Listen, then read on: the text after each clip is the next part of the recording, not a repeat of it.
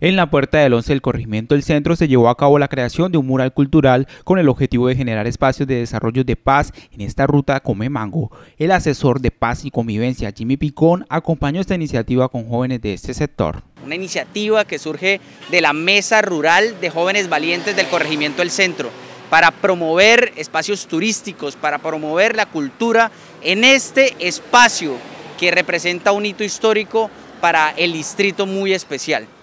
Queremos complementar el embellecimiento de la ciudad con una apuesta denominada Ruta Comemango y el inicio de una dinámica cultural, turística y próspera para nuestro corregimiento, el centro de Barranca Bermeja. Hanner Flores, joven participante de esta actividad, agradece a las entidades que hicieron posible que se realizaran estas jornadas de limpieza y pintura en estos espacios de la comunidad.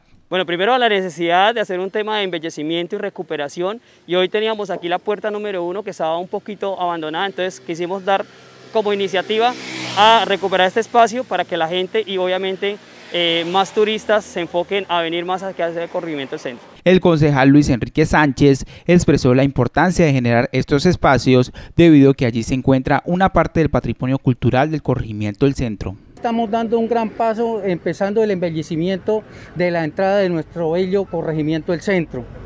Hoy con los muchachos, los jóvenes, hemos emprendido una carrera para, para darle este embellecimiento al corregimiento que tiene el 30% de patrimonio de interés cultural en Barranca Bermeja. Se espera que a través de estas actividades las personas tomen conciencia y brinden la seguridad y el cuidado de estos espacios que fortalecen gran parte del corregimiento Come Mango.